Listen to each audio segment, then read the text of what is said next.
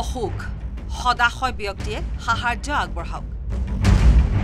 এনেধৰণৰ কাটৰ আহ্বানেৰে হোৱাটছএপত ফটো পঠিয়াই লাখ লাখ টকা লুটি অহা এটা প্ৰবঞ্চকৰ কথা ক'বলৈ ওলাইছো। সহানুভূতি আদায় কৰি মানৱতাক পণ্যলৈ ৰূপান্তৰিত কৰা এই প্ৰবঞ্চকটোৱে কৰিছিল চৰম দুঃসাহস। ভুৱাকৈ চিকিৎসাৰ সাহায্য বিচাৰি মুখ্যমন্ত্ৰীৰ সহানুভূতি ভিক্ষা কৰিছিল এই প্ৰবঞ্চকটোৱে। পিছে মুখ্যমন্ত্ৰীক ঠগিবলৈ গৈ অৱশেষত আৰক্ষীৰ জালত পৰিলে এইটো প্ৰবঞ্চক। এলাপেচা প্ৰবঞ্চক নহয় এই প্ৰবঞ্চকটো এটা শিক্ষিত প্ৰবঞ্চক।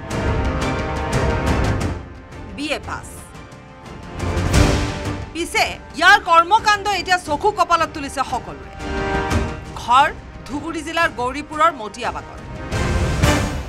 নাম মুছাৰফ আলম চৰকাৰ ওৰফে ডাব্বু গুগলৰ পৰা বিভিন্নজনৰ চিকিৎসাধীন হৈ থকা ফটো অথবা চিকিৎসালয়তে মৃত্যু হোৱাৰ ফটো অথবা কেতিয়াবা কোনো শিশুৰ চিকিৎসাধীন হৈ থকাৰ ফটো একাংশ ভি আই পি ব্যক্তিক হোৱাটছআপ আৰু ইমেইল যোগে পঠিয়াই যোগাযোগ কৰি নিজৰ পুত্ৰ বা মাতৃ চিকিৎসাধীন হৈ থকা বুলি একাউণ্ট নম্বৰ দি সেই একাউণ্টত টকা সৰকাইছিল এই প্ৰবঞ্চকটোৱে এই প্ৰবঞ্চকটোৰ ঠগবাজিৰ জালত পৰিল গৌৰীপুৰৰ বিধায়ক নিজানুৰ ৰহমান।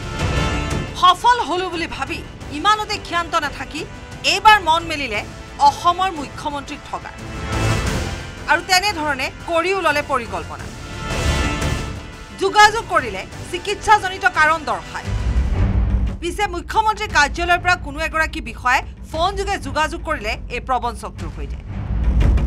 কথা বতৰা আগবঢ়াত সন্দেহ উপজিল বিষয়াগৰাকী আৰু তাৎক্ষণিকভাৱে ধুবুৰী আৰক্ষী অধীক্ষক নবীন সিঙক অভিযোগ দিলে বিষয়াগৰাকী লগে লগে আটক হ'ল প্ৰবঞ্চক মুছাৰফ আলম চৰকাৰ ওৰফে ডাব্বু অৱশেষত গৌৰীপুৰ আৰক্ষীয়ে আটক কৰি যুৱজনক গ্ৰেপ্তাৰ কৰি জেল হাজতলৈ প্ৰেৰণ কৰিলে।